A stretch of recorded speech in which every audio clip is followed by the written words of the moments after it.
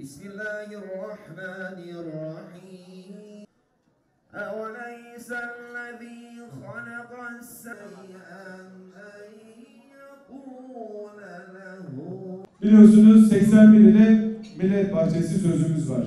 Her ilimizde bir tane Millet Bahçesi yapacağız dedik ve kişi başı yeşil alan miktarını 15 metrekareye çıkaracağız ve bu anlamda 81 ilimizde projelerimizi, çalışmalarımızı başlattık.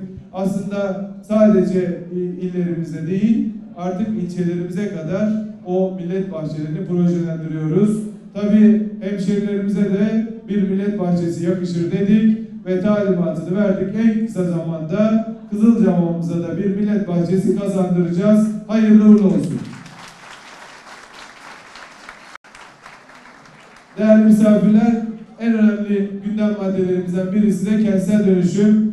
Kentsel dönüşüm ile alakalı da Toplu Konut İdaresi Başkanlığımıza talimatı verdik ve Karşıyaka mahallemizdeki birinci etap çalışmamızın ihalesini çok kısa bir süreçte yapmak suretiyle burada yerinde gönüllü ve örnek bir dönüşümü hep birlikte yapacağız. Vatandaşımızın istemediği, vatandaşımızın rızasının olmadığı hiçbir işi de yapmayacağız. Yapılmasına da müsaade etmeyeceğiz. Yine Kızılcahamamızda bir fizik tedavi hastanesi inşa edileceğini beyan etmiştik. Arsa tahsis sürecini Milli Emlak Genel Müdürlüğümüzle yürütüyoruz.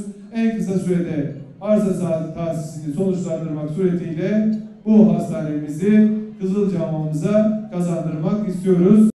Kıymetli hemşehrilerim, tabi Çevre Şehircilik Bakanlığı olarak Türkiye'nin en büyük çevre hareketini biliyorsunuz başlattık. Sıfır atık projesini başlattık.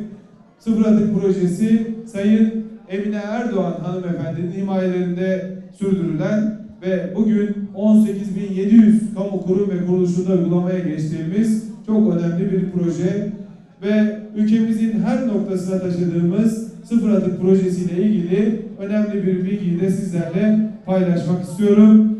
Sıfır atık projesinde Kızılcahamam'ı sıfır atık pilot bölgesi ilan ettik. Kızılcahamam'ıza hayırlı uğurlu olsun.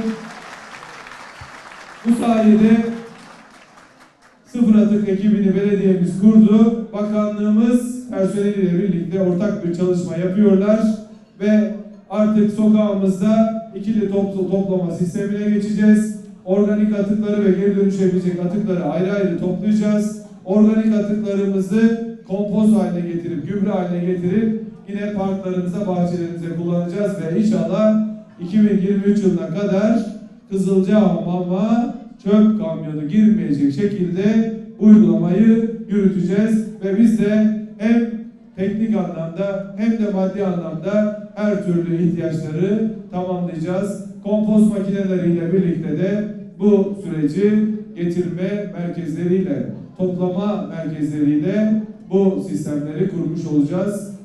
Ramazanınızı tebrik ediyor. Bayrama da aynı coşkuyla ulaşmayı diliyor. Sizleri sevgiyle, saygıyla, muhabbetle selamlıyor. Allah'a emanet ediyorum.